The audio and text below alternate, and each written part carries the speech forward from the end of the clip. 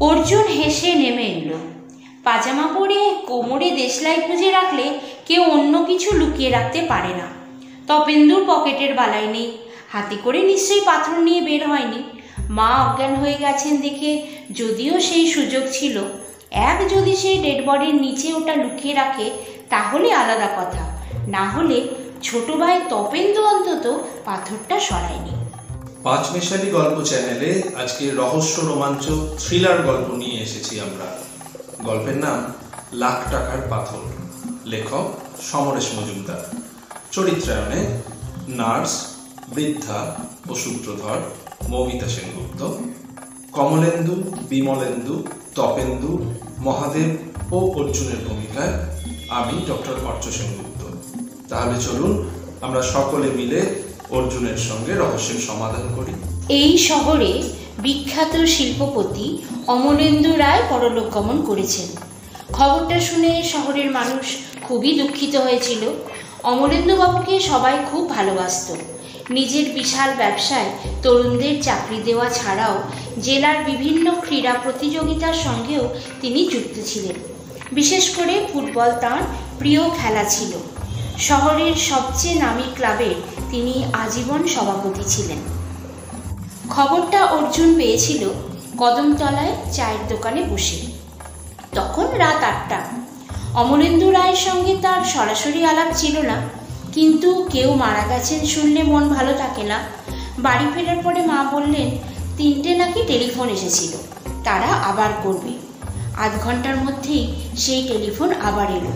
দুজন মানুষ পৃথক পৃথকভাবে টেলিফোন করছেন। প্রথমজন অমলেন্দু রায়ের বড় ছেলে বিমলেন্দু। তিনি একটু ভূমিকা করে বললেন, আজই অর্জুনের সঙ্গে তিনি দেখা করতে চান। অর্জুন তাকে আসতে বলল, কারোর বাবা সন্ধেবেলায় মারা গেলে যে পরিস্থিতি হয়, তাতে টেলিফোন করে একজন অপরিচিতের সঙ্গে দেখা করতে চাওয়া মানায় না। বেশ অবাক হয়েছিল অর্জুন।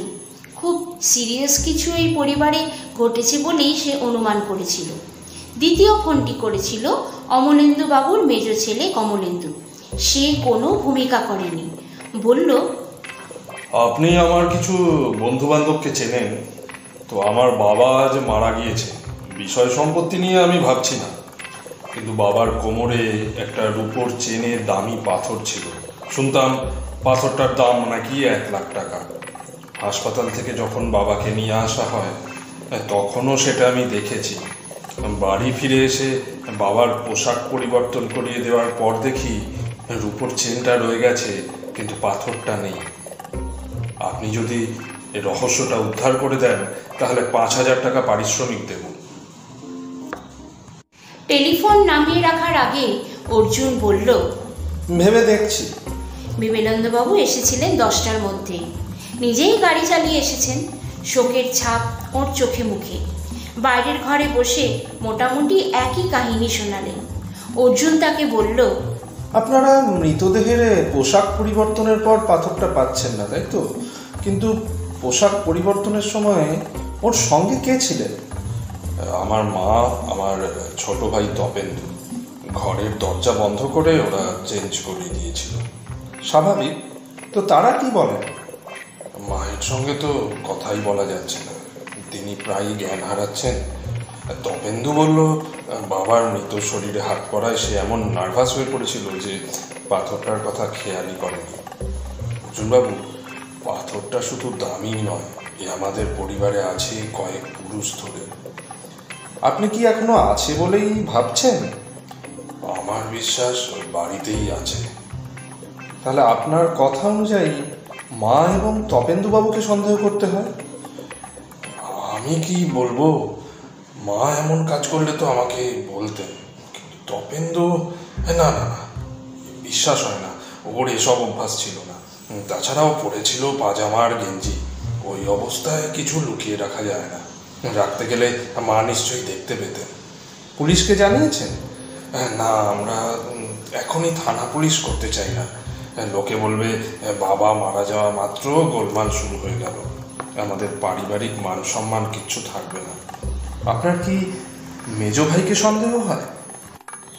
ঠিক সন্দেহ বলতে যা বোঝায় তা হয় না। তবে তবে ওর টাকা পয়সার খুবই টান বাবা খুবই অসন্তুষ্ট ছিলেন ওর বাজে খরচের বহর দেখে। হাসপাতাল থেকে আসার সময় ওই দেখেছিল, পাথরটা বাবার কোমরের চেনের সঙ্গে ঠিক আছে। হাসপাতালে ভর্তি করার সময় তো শরীরের গয়না খুলে রাখার কথা। আপনারা অত দামি জিনিস শুধু ভর্তি করেছিলেন? ওখান থেকেও তো চুরি হয়ে যেতে পারতো। দুপুরে বাবার হার্ট অ্যাটাক হওয়ার পর ওসব ভাবারও তো সময় ছিল না। আর হাসপাতাল থেকেও সেরকম কিছু বলেনি। মেজো ভাই না বললে এখনও আমার মনেও পড়তো না। আপনার মেজো ভাই ছাড়া কেউ হাসপাতাল থেকে আসার সময় পাথরটাকে দেখেন, তাই তো? একটু ভেবে বলুন তো। হ্যাঁ একমাত্র ওই দেখেছিল তাহলে তো এমনও হতে পারে, ওটা হাসপাতাল থেকেই খোয়া গিয়েছে, আর আপনার মেজো ভাই মিথ্যে বলছেন যাতে লোকে ভাবে বাড়ি আসার পর কেউ সরিয়েছে। হ্যাঁ তা কি সম্ভব? কিছুই অসম্ভব নয়। আবার ঠিক এইটাই যে ঘটেছে, এমন কথাও আমি বলছি না। আমি শুধু সম্ভাবনাগুলো তুলে ধরছি। আচ্ছা পোশাক পাল্টে দেওয়ার পর ওই ঘরের ভেতর থেকে প্রথমে কে বেরিয়ে এসেছিল? আপনারা কোথায় ছিলেন? বাড়ি শুদ্ধ সবাই তো কাঁদছিল। কারোরই মাথা কাজ করছিল না। তপেন্দু ঘরের দরজা খুলে বেরিয়ে এসে আমাকে জড়িয়ে ধরে কাঁদলো। আমি ওকে কোনো মতে ছাড়িয়ে ঘরে গিয়ে দেখলাম মা অজ্ঞান হয়ে পড়ে আছেন। মাকে জড়িয়ে ধরে অনেক ডাকাডাকির পর তবে ওর জ্ঞান এলো। তখন ঘরে কে কে ছিলেন? তখন তপেন্দু বেরিয়ে যাওয়ার পর ওই ঘরে মা ছিলেন এবং আমি ঢুকেছিলাম। আপনার পর? আমি চেঁচিয়ে মাকে ডাকাডাকি করার সময় বাকি সবাই এসে পড়ল। ততক্ষণ তার মানে আপনি একা আর আপনার মা অজ্ঞান হয়ে পড়েছিলেন? হ্যাঁ কিন্তু কিন্তু সেটা আধ মিনিটও নয়। ওই সময় ইচ্ছা করলে তার মানে আপনিও পাথরটা সরাতে পারেন। বিমলেন্দুবাবু চমকে উঠলেন। এ আপনি কি বলছেন? আমি চোর? আমি চুরি করলে আপনার কাছে আসব কেন? ছি ছি ছি ছি। বিমলেন্দু বাবু, আমি আপনাকে শুধুমাত্র একটা সম্ভাবনার কথা বলছি। আপনি চুরি করতেও পারেন, আবার নাও পারেন। দেখা যাচ্ছে আপনাদের তিন ভাইয়ের মধ্যে কেউই সন্দেহের বাইরে থাকার মতো কাজ করেননি। কিন্তু এ ব্যাপারে এখনই তদন্ত করতে গেলে কিন্তু জানাজানি হয়ে যাবে। না, সাধ্যের আগে ব্যাপারটা গোপন রাখতেই হবে। তাহলে আপনি আজ একবার আমাদের বাড়িতে আসুন না। গিয়ে কি করব? কাউকে জেরা করতে না পারলে তো আচ্ছা ঠিক আছে। আপনি যান, আমি আসছি। বিমলেন্দুবাবু ওর হাত জড়িয়ে ধরলেন।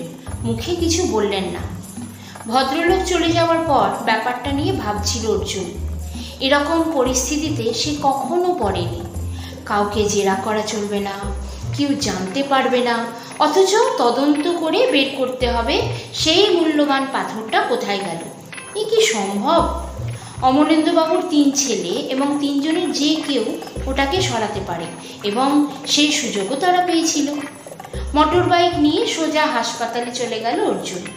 খোঁজ খবর নিয়ে সেই নার্সের সামনে উপস্থিত হলো, যিনি অমলেন্দুবাবুর সেবায় ছিলেন। অর্জুন তাকে জিজ্ঞেস করতেই তিনি মাথা নাড়লেন। হ্যাঁ দেখেছি। রূপর চেনে পাথরটা ছিল। ওর মেজ ছেলে বারবার ওটার খবর নিচ্ছিলেন। আমি বিরক্ত হয়ে বলেছিলাম অতই যখন চিন্তা খুলে নিজের কাছে রাখুন না তাতে উনি জবাব দিয়েছিলেন না মা নাকি দুঃখ পাবে। হাসপাতাল থেকে বডি নিয়ে যাওয়ার সময় ওটা ঠিক ছিল? হ্যাঁ এ ব্যাপারে আমি নিঃসন্দেহ। কেন বলুন তো এসব জিজ্ঞাসা করছেন? পরে বলব। অর্জুন দাঁড়ায়নি। নার্সের বক্তব্য যদি সঠিক হয়, তাহলে মেজ ভাই কমলেন্দু পাথরটা সরায়নি। রায়বাড়িতে চলে এলো অর্জুন। শোকের বাড়ি। এখনও লোকজন আসছে। খুঁজে খুঁজে তপেন্দুকে বের করল সে। ছাদের ঘরে একা বসে সিগারেট খাচ্ছে। পরনে এখনও পাজামা আর গেঞ্জি। অর্জুনকে সে চেনার চেষ্টা করল। বয়স কুড়ি একুশের মধ্যে। অর্জুন বলল, আপনার বাবা আমার শ্রদ্ধেয় মানুষ। খবরটা পেয়ে এসেছিলাম।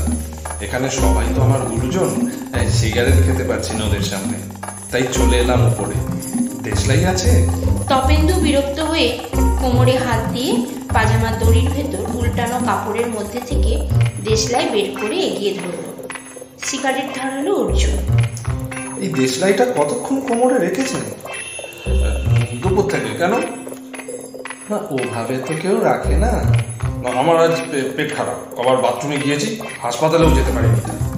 পাঞ্জাবি পরিনি রাখব কোথায়? পেট খারাপ অবস্থায় বাবার পোশাক পরিবর্তন করলেন?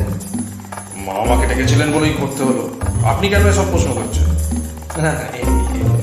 অর্জুন হেসে নেমে এলো। পাজামা পরে কোমরে দেশলাই গুজে রাখলে কেউ অন্য কিছু লুকিয়ে রাখতে পারে না। তপেন্দুর পকেটের বালাই নেই। হাতে করে নিশ্চয়ই পাথর নিয়ে বের হয়নি। মা অজ্ঞান হয়ে গেছেন দেখে যদিও সেই সুযোগ ছিল। এক যদি সে ডেড বডির নিচে ওটা লুকিয়ে রাখে, তাহলে আলাদা কথা। না হলে ছোট ভাই তপেন্দু অন্তত পাথরটা সরায়নি। রাত এখন বারোটা। মৃতদেহ এখনই শ্মশানে নিয়ে যাওয়া হবে কিনা, এ ব্যাপারে আলোচনা হচ্ছে। বিমলেন্দু অর্জুনকে দেখে এগিয়ে এলেন। বাবাকে দেখবেন? হ্যাঁ আসুন আসুন। ঘরের দরজা ভেজানো ছিল। কোণের দিকে খাটে অমলেন্দুবাবু শুয়ে আছেন। দরজা থেকে সেটা বেশ দূরে। তার মাথার কাছে একজন মহিলা বসে আছেন। পায়ের কাছে কয়েকজন। ঘরে ঢুকেই অর্জুন চাপা গলায় জিজ্ঞেস করল ভেতরে ঢোকার কত পরে আপনি মাকে ডেকেছিলেন? বড় জোর আধ মিনিট হবে। তাও হবে না হয়তো। উনি অজ্ঞান হয়েছিলেন? হ্যাঁ। ওই যে মাথার পাশে মা বসে আছে। ঠিক আছে, আপনি পায়ের কাছে যারা বসে আছেন, তাদের একটু বাইরে নিয়ে যান তো।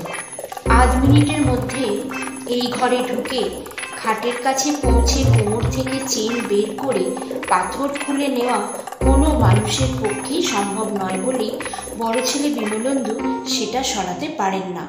অবশ্য সময়টা যদি আধ মিনিটের অনেক বেশি হয়, তাহলে আলাদা কথা। ঘরে এখন কেউ নেই শুধু তারা দুজন ছাড়া। অর্জুন বৃদ্ধার কাছে গিয়ে বিনীত গলায় বলল মাসিমা মেসমশাই আমাকে ভালোবাসতেন। তুমি কে বাবা? আমি অর্জুন সত্য অন্বেষণ করি। পাথরটা ঠিক জায়গায় রেখেছেন তো? সঙ্গে সঙ্গে কেঁদে উঠলেন বৃদ্ধা। চাপা গলায় কাঁদতে কাঁদতে বললেন ভস্ম হয়ে যা সব ভস্ম হয়ে যা। অর্জুন অমরেন্দু বাবুর দিকে তাকালো। মনে হলো গলার একটা দিক যেন সামান্য উঁচু, টিউমারের মতন। অত রাত্রে শ্মশানে একা আসতে এখনও অস্বস্তি হয়। যে মানুষেরা মৃতদেহ সৎকারের দায়িত্ব নেয়, তাদের একজনের নাম মহাদেব। এর সঙ্গে আলাপ ছিল অর্জুনের। মহাদেব তখন চুপচাপ বসেছিল। শ্মশানে ইতিমধ্যেই দুটো চিতা জ্বলছে। মহাদেবকে আলাদা ডেকে নিচু গলায় কিছু বলল অর্জুন। তারপর পকেট থেকে কুড়িটা টাকা বের করে দিল। অমরেন্দু রায়ের মৃতদেহ এসে গেল শ্মশানে। মফস্বল শহরের শ্মশানে আধুনিক ব্যবস্থা নেই। দেহ চিতায় তুলতে সময় লাগল। আগুন জ্বলে গেলে দেখা গেল মহাদেবরা দাহের কাজে তদারকি করছে। অর্জুন চুপচাপ দেখছিল। সব ছাই হয়ে যাবে। কাঠ, শরীর, শুধু অস্থিটুকু থেকে যাবে। আর সন্দেহটা এখনও মনে আঁচড় কাটছে। ক্রমশ চিতা ছাই হয়ে মাটিতে মিলিয়ে গেল। মহাদেব আগুন নিভিয়ে মাটির সরায় চিমটে দিয়ে অস্থি তুলতে লাগল। তারপর হঠাৎ হাত তুলে অর্জুনকে ডাকলো। চিতার অনেক দূরে নদীর ধারে বসেছিল শ্মশান যাত্রীরা। ভোর হতে আর দেরি নেই। অর্জুন এগিয়ে যেতেই মহাদেব নির্লিপ্তভাবে একটা পাথরের ছোট টুকরো তুলে ধরলো।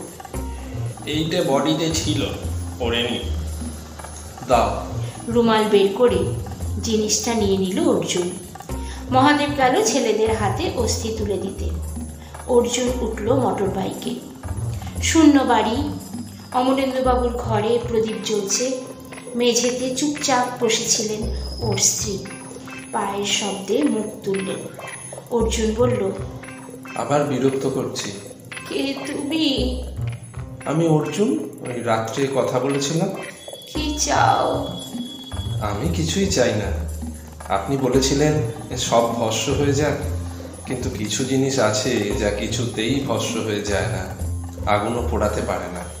একটা খালি প্রদীপের খোল নিয়ে রুমাল থেকে পাথরটা বের করে রাখল তাতে অর্জুন।